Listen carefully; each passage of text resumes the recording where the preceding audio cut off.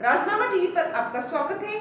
मैं प्रिया, आपके साथ। एनसीपी अजीत गुट के नेता बाबा सिद्दीकी के मर्डर की ज़िम्मेदारी लेने वाले शुभम शुभू लोनकर से एक्टर सलमान खान के मामले में भी पूछताछ हुई थी। मीडिया रिपोर्ट्स के मुताबिक, इसी साल अप्रैल में एक्टर सलमान खान के घर पर गोलियाँ चलाई गई थी।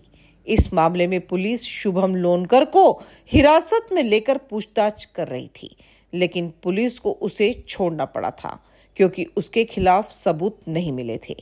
शुभम अभी फरार है। उसका भाई प्रवीण लोनकर पुणे से गिरफ़्तार किया गया है। पहले जानकारी आई थी कि इन दोनों ने मिलकर ही सिद्दीकी के मर्डर की प्लानिंग की थी, लेकिन सूत्रों के मुताबिक, सिद्दीकी की हत्या में चार आरोपी नहीं, बल्कि 10 से 15 लोगों का एक ग्रुप शामिल था। इधर सोमवार को यूपी के बहराइच से मुख्य आरोपी धर्मराज के गाँव केसरगंज के गंडारा से उसके चचेरे भाइयों को मुंबई पुलिस ने गिरफ़्तार किया। उन्हें 21 अक्टूबर तक पुलिस कस्टडी में भेजा गया। इनके नाम अनुराग और हरीश बालकराम हैं। हरीश पुणे में कबाड़ की दुकान चलाता है। उसने ही शिवा और धर्मराज को कुल्ला में किराए का रूम और बाइक अरेंज कराई थी। दोनों को पैसे दिए थे और उनके लिए नए मोबाइल फ़ोन भी खरीदे थे।